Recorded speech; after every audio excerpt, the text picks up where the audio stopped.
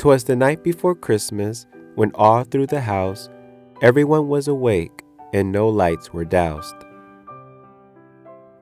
The presents were tucked under the Christmas tree with care, in hopes that they would be unwrapped and none would be spared.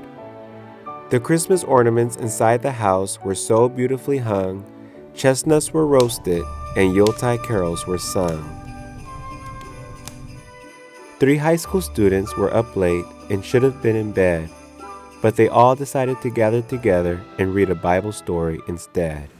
So it was when the angels had gone away from them into heaven that the shepherds said to one another, Let us now go to Bethlehem and see this thing that has come to pass, which the Lord has made known to us.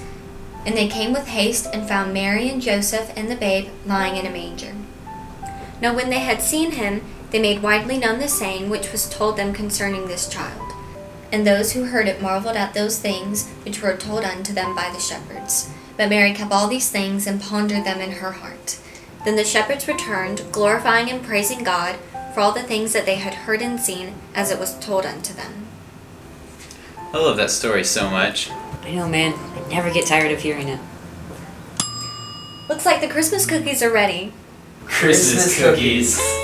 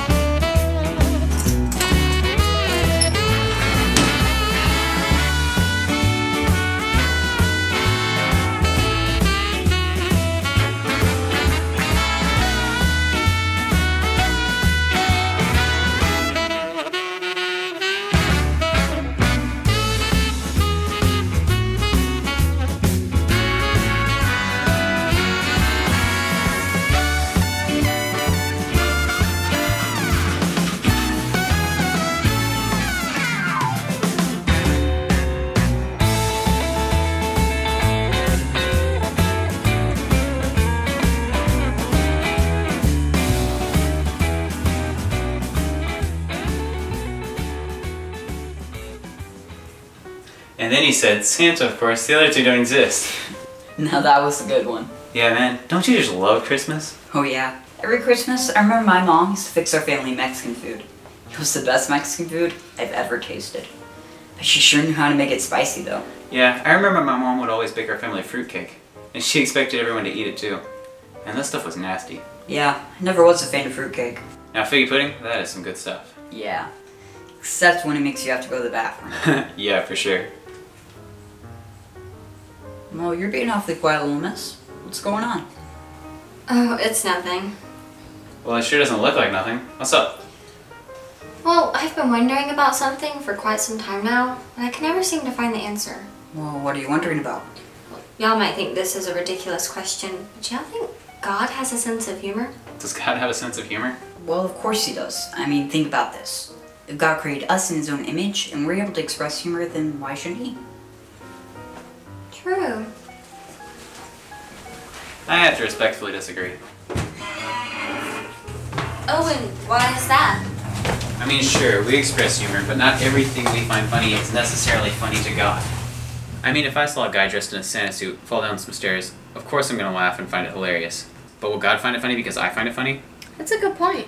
Well, of course not. I mean, obviously mankind will find certain things comical that God would not. It's part of our sin nature. Since God is perfect and without sin, he most certainly would not find crude and hateful jokes funny at all.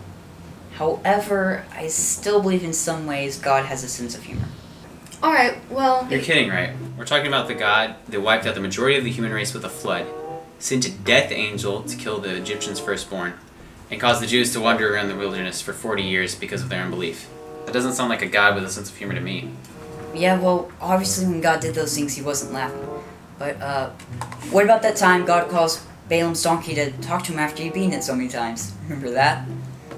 Oh boy, every time I read that story, it cracks me up. Yeah, but the reason God did that was because he was angry at Balaam for rebelling against him. He didn't do it to be funny.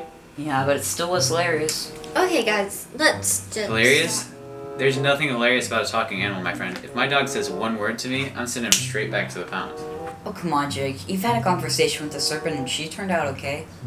Well, sort of. My point exactly. Look, guys, can we just. What about Sarah, Abraham's wife? What about her? Did she not laugh when she gave birth to Isaac? Which, by the way, means he will laugh in the Hebrew language. Sure she did, but what woman wouldn't laugh who was given birth at 90 years of age? Even Abraham thought it was hilarious. Aha! And you see, that proves God can have a sense of humor. Oh ho ho, but did God not reprimand Sarah for laughing? That was when she laughed the first time, which, as you may recall, was a mocking laugh. There's a difference between a joyous laugh and a mocking one.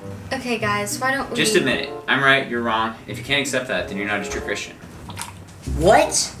How does me believing that God has a sense of humor make me not a Christian? It just shows that you don't know the Bible. And if you don't know the Bible, you can't be a true Christian. Now that's the most ridiculous statement I've ever heard. And besides, I bet I know the Bible way more than you. Oh yeah? Yeah, What's the eighth commandment? thou shalt not steal. What's the eighth plague in Egypt? Locust. When were the sun, moon, and stars created? Tuh, the fourth day. How many soldiers did Gideon have with him in battle? 300. What did David do to Goliath after he killed him? He chopped his head off. Who was taken up to heaven and chariot of fire? Elijah. What city was Jonah instructed to go to? Nineveh. What river was Jesus baptized in? The Jordan River. Trick question. Who wrote the book of Timothy? Um, Timothy? Eh, wrong. The book of Timothy was written by the Apostle Paul as letters to his friend Timothy. It's in the first couple of verses. I can't believe you didn't even know that. Which means I'm right, you're wrong, God doesn't have a sense of humor, and you need to get a Bible tutor. Booyah! Are y'all finished? Yes, ma'am, I believe we are. Well, finally. Well, what do you think, Nancy? Do you think I'm right or Jake's right? Honestly, I think both of y'all brought up really good points. I mean, like you said earlier, Nick, if we're created in the image of God and we express humor, then He must express some kind of humor too. In the Bible, it says that God takes delight in His people. The word delight means a strong pleasure, joy. I think if someone takes joy in something, then they must express some kind of humor. But like Jake pointed out, there can be a dark side of humor, which is crass and crude, and I believe that God takes no pleasure in. In fact, the Apostle Paul brings up this in the book of Ephesians. It's okay for Christians to joke around and have fun, but if it comes at the cost of debasing yourself and others, then it's not really funny at all, but rather insulting. Kind of like the way you were insulting Nick. I mean, seriously, guys, we shouldn't be fighting. We're both brothers and sisters in Christ. If one of us falls into error, it's okay for the other to correct them, but do it with love, not scorn or hate. Yeah, dude. I'm sorry for fighting with you, Jake. And I'm sorry, Nick, for saying that you're not a true Christian. Buds? Buds. Now that's what I like to see. Besides, it's almost Christmas. Yeah, we sure don't want to be fighting on Jesus' birthday. Wait. Jesus' birthday? Hold on. Jesus wasn't born in Christmas. He was born in September. Dude, no, he wasn't. He was born on Christmas. No, Jesus was born in September. No, Jesus was born on Christmas. No, he was born in September. Christmas. September. Christmas. Dude, why do you think everybody celebrates his birthday on December 25th? Because man-made traditions always went out. Most scholars and historians believe that Jesus was born in autumn. There's even biblical evidence to support this. Do your research. I don't need to do research. I know Jesus was born on Christmas. Have you heard of the Christmas star? Again, another man-made tradition. There's no such thing as a Christmas star. I bet you also believe that there were three wise men. There were three wise men. And the Bible doesn't tell us how many wise men there were. And I bet you think that Jesus was in a manger when the wise men arrived. He was in a manger. And by the time the wise men arrived, Jesus was a young boy and living in a house. Read your Bible. Wow, I can't believe how ignorant you are. And you can't say for sure he was born on Christmas. Dude, I know he was born on Christmas. Here, do you want me to prove to you he was born in autumn? No, because you're just gonna twist everything to make it fit your personal. And so ends the story of how a night that started out so great came to a terrible turn of trivial debates. So I will end with this farewell, even though it's sort of trite. Merry Christmas to all, and to all a good night.